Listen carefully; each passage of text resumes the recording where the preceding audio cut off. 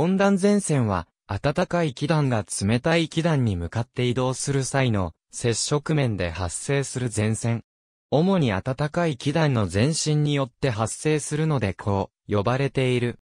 温暖前線の雲と気団の様子。左側の赤い矢印が暖気、右側の青い矢印が寒気。天気図における温暖前線の記号。伸びる線に対して半円側が寒気、何もない側が暖気で、寒気に向かって暖気が押し寄せる様子を示す。北半球では南が暖気なので、図のような向きの温暖前線が天気図上でよく見かけられる。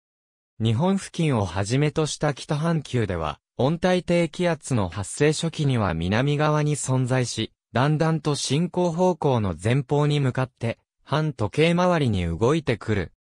ある程度北上すると寒気の勢力が強まってくるので、北上が弱まり、東西に連なって伸びるようになる。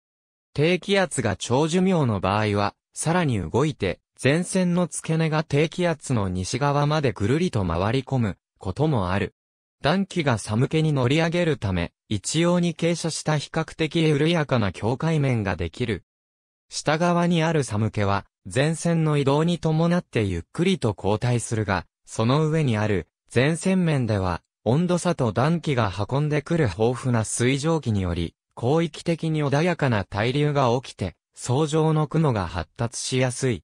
温暖前線の長さは、一般的に、数百キロメートル2000キロメートル程度である。上空から前線の雲域を見ると、その幅は平均 500km1000km 以上にもなる。雲域の中の雨域はもっと狭く、幅は 300km 程度である。温暖前線通過時には気温がゆっくり上昇して高止まりする。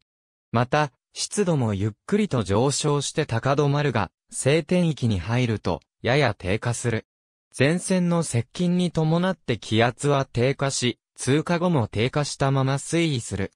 前線面にできる雲は、前線から近い順に、層雲、乱層雲、高層雲、剣層雲、剣雲となる。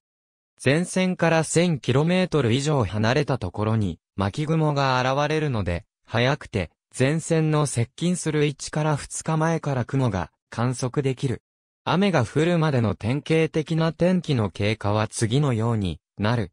温暖前線が接近してくるにつれて、まず晴れた空に羽毛のような巻雲が現れ始め、次にベール状の喧騒雲が現れる。喧騒雲は表層でできており、太陽や月の周りに傘を作ることがある。次に現れ始める高層雲は厚く、空は灰色の雲に覆われてしまう。高層雲の厚みが増して、雲の底が低くなってくると、やがて乱層雲に移行して雨が降り出す。乱層雲がよく発達し、強度変化が少なく、比較的長時間連続した雨が降りやすいが、その降り方は弱い。ただし、南シナ海上からの暖かく湿った空気が温暖前線に流れ込んで、活動が活発になると、温暖前線特有の地雨性の降雨でなく、どちらかといえば寒冷前線の通過時にあるような、非常に激しい雷雨になることがある。前線の通過に伴い、南東寄りの風から南西寄りの風に変わる。ありがとうございます。